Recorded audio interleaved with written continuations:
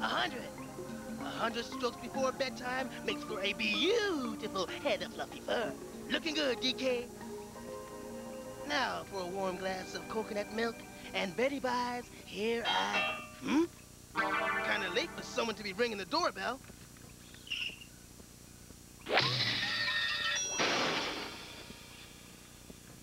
Huh? A letter? I bet I won that Mr. Gorgeous Gorilla contest I entered. The double curse of Bluebeard Baboon lies in these words you see. Read them once, then read them twice, and your island is history. Oh, I got a bad feeling about this. Hey, Dix. what you doing? Waiting for Funky. He's taking me for my first flying lesson. Wow. Funky can practically do that stuff in his sleep. Funky! Wait, wake up! No! Funky! Dixie the Funky! Wake up! Surface down!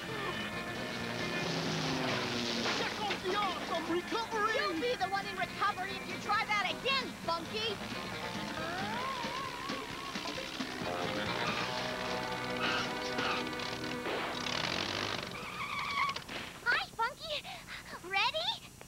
Was born ready.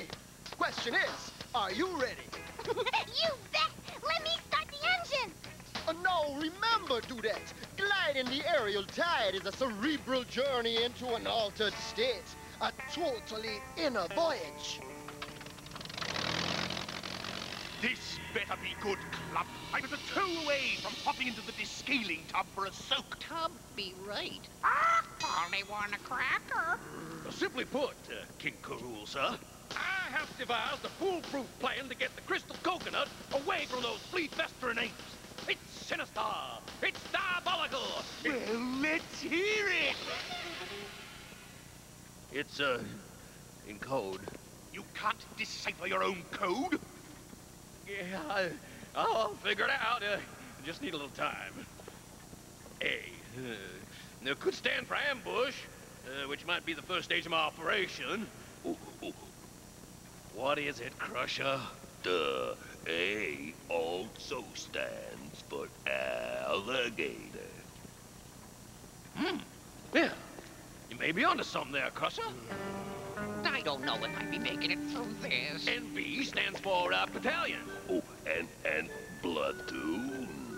No, that's P and it's pontoon. Oh, so, what thinks you about Polly Roger sailing off oh, to get you the coconut yourself? Get me the coconut, Polly Roger, and you can ask for anything as a reward. Now, see.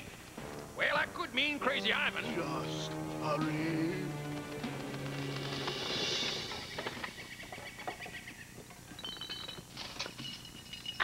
Here. It has to be. What has to be, ah! Jackie?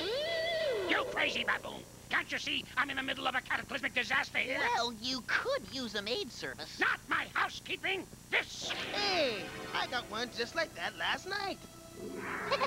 Me too. Hey, I bet it's an invitation to... No!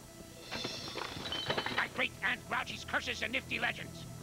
Legend says every 100 years, the ghost of the pirate Bluebeard Baboon rises from the ocean depths to deliver the curse of the double doubloon. You didn't read the letters, did you? No way. Uh-uh. I didn't have time. Right, DK? Yeah. Donkey Kong, tell me you didn't read it. okay, I didn't. But I did. And that explains it.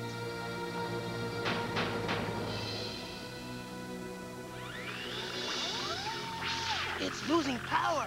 I'm shooting it is. Because you read the letter. Worst of it is, it's a double curse. If it's read once more,